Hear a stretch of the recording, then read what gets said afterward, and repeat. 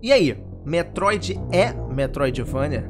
É um assunto polêmico e a gente vai falar sobre ele agora. Então vem comigo. Digplay. E aí pessoal, bem-vindos ao canal Digplay, quem fala é o Diego, estamos de volta para mais um Dig Comenta para falar justamente sobre isso. Metroid é Metroidvania? Esse assunto voltou à tona mais especificamente por causa do lançamento de Metroid Dread para Nintendo Switch no dia 8 de outubro de 2021. A franquia Metroid 2D estava adormecida há 19 anos desde o lançamento de Metroid Fusion para o Game Boy Advance. Com o retorno agora via Metroid Dread para Nintendo Switch, a galera não parou de falar sobre isso. Metroid não é Metroidvania. Não, mas se Metroid se chama Metroid, Metroidvania se chama Metroidvania, Metroid faz parte de Metroidvania, então Metroid é Metroidvania. Pois é, galera, é isso que a gente vai conversar nesse vídeo aqui e eu quero separar esse assunto em duas partes. A primeira é a origem do termo Metroidvania e a segunda é o que é o gênero ou subgênero Metroidvania. Porque são coisas separadas, são coisas diferentes, a galera tá discutindo e confundindo isso tudo no mesmo balaio de gato. E eu entendo a confusão, e é justamente por isso que eu tô fazendo esse vídeo aqui, ok? Atualmente nas redes sociais, isso não tá mais tanto em alta, essa discussão aconteceu, como eu falei, no dia do lançamento do jogo, na primeira semana, mas tudo bem, porque essa discussão vai voltar. Eu tive essa discussão antes de Metroid Dread ser anunciado. Eu tive essa discussão no anúncio do Metroid Dread, no lançamento do jogo. Eu tenho certeza que essa discussão vai voltar qualquer um dia.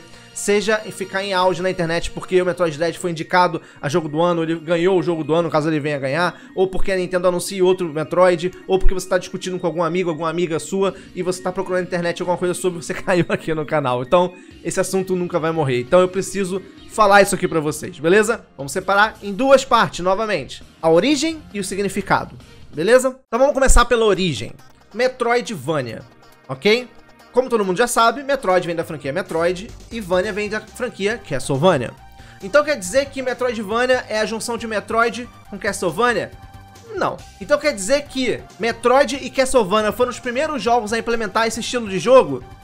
Não. Deixa eu explicar. Jogo no estilo plataforma 2D, onde você precisa explorar aquele ambiente bem grande e você precisa pegar alguns recursos, seja algumas habilidades, equipamentos, etc, para poder destravar algumas portas que você vai ter que voltar para onde você já passou para poder conseguir acessar até terminar o jogo. É basicamente isso que é o gênero Metroidvania. E é basicamente isso que Metroid implementou lá no Nintendinho em 86. Mas a franquia ficou mais conhecida não foi em 86 com com o Metroid no Nintendinho, mas sim com Super Metroid no Super Nintendo em 1994. Ali que esse gênero ficou mais popular, mais famoso. Castlevania já existia até então no Nintendinho, no próprio Super Nintendo, Castlevania 4, com Drácula X também no PC Engine, até para Mega Drive tinha Castlevania. Só que até então Castlevania não tinha nada a ver com Metroid nada com coisa nenhuma. O estilo de jogo era completamente diferente. Por que que Castlevania entrou no nome Metroidvania? Foi em 1997 com Castlevania Symphony of the Night, que é um jogo maravilhoso. Eu tenho ele no meu coração. Eu joguei ele muito na época do PS1. Eu peguei ele no PS4 no Castlevania Requiem e platinei ele, só pra você ter uma ideia de quanto eu gosto desse jogo. Com a chegada de Castlevania Symphony of the Night, a franquia Castlevania foi completamente virada de cabeça para baixo. Symphony of the Night não tem nada a ver com o restante dos outros jogos de Castlevania. Ele basicamente pegou o conceito de Metroid, essa explicação que eu já falei para vocês, um jogo, plataforma 2D, onde você tem várias áreas para explorar, você precisa pegar recursos, skills, equipamentos para poder conseguir abrir áreas que você não conseguia acessar anteriormente. A Konami implementou isso em Castlevania Symphony of the Night. Basicamente, o que já existia em Super Metroid. Com a adição de toda a temática de Castlevania. Aí você tem o Drácula, o Richter, a Maria, o Alucard e todos os seres, os inimigos, etc. da franquia Castlevania. Mas o jogo é completamente diferente, porque ele é completamente inspirado em Super Metroid, com adição da temática de Castlevania e elementos de RPG. Metroid Super Metroid, ele trabalhava em cima de power-ups você ganhava novos tiros de canhão, novas habilidades como Morph Ball, bomba, super bomba, ganhava novas armaduras, pulo, super pulo, space jump, enfim, tudo que fazia você progredir naquele mapa, conseguir acessar outros lugares, eram power-ups para Samus. Em Castlevania Symphony of the Night, você recebe skills, você consegue transformar o Lucard em morcego, em lobo, em névoa. Castlevania Symphony of the Night tem a sua progressão de personagem e até mesmo no mapa baseado em skills, levels, itens, mais voltado para RPG. Já Metroid em Power Up. Então aí, em Castlevania Symphony of the Night, e não, e não em 1997, porque na época que o jogo foi lançado ele não foi bem recebido, Castlevania Symphony of the Night começou a ser aclamado um pouco depois do seu lançamento, porque ele saiu numa época que os jogos estavam sendo migrados para 3D no PlayStation e no 64 e ele é um jogo 2D. Então a galera meio que torceu o nariz. Eu, como era um amante de jogo 2D e fui um pouco reticente em querer aceitar os jogos 3D, eu amava Castlevania Symphony of the Night. Ele e Mega Man X4 pra mim eram os melhores jogos de PS1. Tirando Final Fantasy VII, que era horroroso, feio, mas era um jogaço. Mas enfim, voltando. Symphony of the Night foi o que fez com que esse gênero, subgênero chamado Metroidvania, recebesse esse nome. Porque aquele jogo começou a ficar popular e a galera começou a identificar jogos daquele estilo como Metroidvania. Porque claramente Symphony of the Night ele tirou praticamente tudo que existia de Castlevania, colocou coisa de Metroid, mas adicionou coisa de RPG, elementos novos, coisas novas. Começaram a sair jogos nesse estilo parecido depois, a galera falou, pô, como é que a gente vai explicar isso? Como é que vai explicar que esse jogo é assim? Ah, ele é que nem Symphony of the Night. Mas o que é Symphony of the Night? Ah, ele é a mistura de Metroid com Castlevania. Ah, então vamos chamar isso de Metroidvania. E acabou. Foi assim que surgiu o nome, Metroidvania. Por causa de Symphony of the Night mas em sua essência, o nome Metroidvania, ele é basicamente tudo de Metroid, com uma adição de RPG ali, que Castlevania colocou junto com os elementos do jogo da franquia de Castlevania. É basicamente isso. Foi assim que surgiu o nome Metroidvania, ok? Então quem fala que Metroid é uma coisa, Castlevania é outra, tá completamente certo. Quem fala que um jogo Metroidvania é a mistura de Metroid com Castlevania, não tá completamente certo. Porque isso aconteceu apenas exclusivamente em Symphony of the Night, até 97. Depois saiu os jogos de Game Boy Advance, que Castlevania, né? Que também tem esse elemento. Mas não dá pra explicar Metroidvania como meio Metroid, meio Castlevania. Porque não é. Se a pessoa pegar um, um Castlevania 4 um Castlevania de Nintendinho, olhar aquilo e falar, tem nada de Metroidvania, sacou? Beleza, entendidos a origem do nome? Como é que surgiu? O que que é? Beleza? Agora vamos pro fato de o que é Metroidvania hoje em dia. Quando você vai falar sobre um Ori, Ori and the Blind Forest, um Hollow Knight, um Axon Verge, ou até mesmo um Symphony of the Night, você vai explicar esses jogos falando que ele é um Metroidvania. Mas aí você tá falando que ele é um Metroidvania porque ele é Metroid com Castlevania? Não, a gente já aprendeu que não é isso. É porque acabou se tornando jogos desse estilo, jogos desses gêneros, sendo chamado de Metroidvania. Essa nomenclatura Metroidvania, ela deixou de ter um pouco o significado dela do passado para ser adotada em jogos desse estilo. Não importa mais como é Metroid, não importa mais como era Castlevania, não importa se é o Castlevania do Nintendinho, Super Nintendo, do PlayStation of the Night, se era o Metroid Super Metroid. O que importa é que Metroidvania, hoje, a nomenclatura desse gênero ou subgênero é para explicar, é para exemplificar jogos do estilo Ori, Hollow Knight, Action Verge, Castlevania Symphony of the Night e também Metroid. Não tá errado chamar Metroid de Metroidvania hoje. Porque o termo Metroidvania hoje é simplesmente algo que as pessoas adotaram para explicar jogos desse estilo. É só isso. Nada além disso. Então não há problema de você chegar e falar quais são os melhores jogos de Metroidvania. Of the Night, Ouro Hollow Knight e Metroid. Dread que seja, Metroid Fusion que seja, não importa. Saca? Porque é Metroidvania.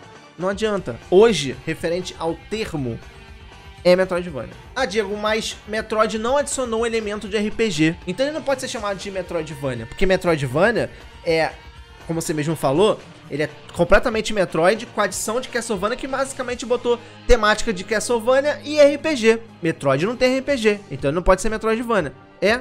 Só que Ori também não funciona com elemento de RPG, de HP, experiência, etc. Exxon Verge é completamente inspirado em Metroid. Claramente. O próprio Ori ele colocou elementos como, por exemplo, de Rayman, que você tem parte que você tem que sair correndo, se você deixar te pegar, você morre. Isso já tinha em Donkey Kong, por exemplo. Hollow Knight colocou elementos dificílimos de batalha, quase que um Souls-like. Cada Metroidvania, após Metroid, adicionou alguma coisa na franquia, e é o que torna cada franquia diferente da outra. Castlevania Symphony of the Night é diferente de Metroid, que é diferente de Hollow Knight, que é diferente de Ori, que é diferente de Action Verge, que é diferente de vários outros Metroidvanias que existem. Porque cada um traz uma coisa diferente. Quer ver um exemplo? Metroid Dread adicionou os Emmys. Os EMMI. Isso não é algo da franquia base Metroid. Foge completamente do gameplay de Metroid, que é ser aquele lance isolado, você se sentir sozinho naquele mundo de exploração, de inimigos ali te ameaçando, você tendo que ir para uns lugares descobrir. Não. Quando o MMI entra na parada, é que nem Resident Evil, é que nem o Mr. X te perseguindo. Você tem que sair correndo que nem Senado para não morrer. Isso é Metroid? Isso é Metroid Dread trazendo um elemento novo no gameplay de Metroid. Se ele trouxe uma coisa nova, ele não pode ser chamado de Metroidvania? Já que ele pegou o conceito do próprio Metroid, que é ele, e adicionou coisas além? igual Ori, Hollow Knight, Symbol of the Night e tantos outros fizeram? Esse é o ponto, sacou? Então, pessoal, existe uma diferença da origem do nome para o termo como é utilizado hoje em dia, tá? Eu já expliquei a origem e já expliquei que o termo é esse. Beleza? Deu pra entender? Então não precisa se sentir ofendido ou não precisa discutir dizendo Metroid na é Metroidvania. Cara, ele acabou sendo, ele acabou virando. Porque o termo hoje é esse, Metroidvania. Ah, mas é muito mais Metroid do que Castlevania. Concordo. Por isso que eu expliquei a origem aqui da palavra. Mas isso não quer dizer que chamar Metroid de Metroidvania é errado. Porque se tornou comum categorizar esse tipo de jogo, incluindo o Metroid, que foi o mais famoso desse estilo. Porque ele não foi o fundador do estilo. Eu vou deixar passando para vocês agora um jogo chamado Montezuma Revenge. Ele é completamente Metroid, mas completamente Metroid. Ele é um jogo de Atari. Ele veio antes de Metroid de Nintendinho. Por que, que o gênero não se chama Montezuma Vania? Quem aperfeiçoou esse tipo de gênero e tornou popular inicialmente foi Super Metroid. Metroid nem tanto, foi mais o Super Metroid. Ficou mais popular ainda com Castlevania. Mas como o Super Metroid já era popular, a galera falou: Mas peraí, peraí, Steve of the Night pegou bastante coisa de Super Metroid. É basicamente um Super Metroid. Só que com a cara de, da franquia Castlevania e RPG. Então a gente vai chamar isso aqui de Metroidvania. Saca? Nem Castlevania, que não era nada a ver com Metroidvania, nem Metroid. Foram os criadores de jogos nesse estilo mas eles foram os que popularizaram os jogos desse estilo. E hoje, o nome não é por causa de um, não é por causa de outro. Ori não é mistura de Metroid com Castlevania. Ori é um Metroidvania. Tanto como Symphony of the Night e Metroid, Super Metroid, Metroid Fusion, Metroid Dread, qualquer Metroid 2D que sair. Beleza? Então é isso, galera. Eu queria trazer nesse dia de comentários. Espero que vocês tenham curtido daquele like maneiro. Você é completamente livre para discordar. Eu sei que algumas pessoas vão discordar de mim, mas isso aqui é, um, além de ser meu pensamento, é como as coisas acontecem hoje, saca?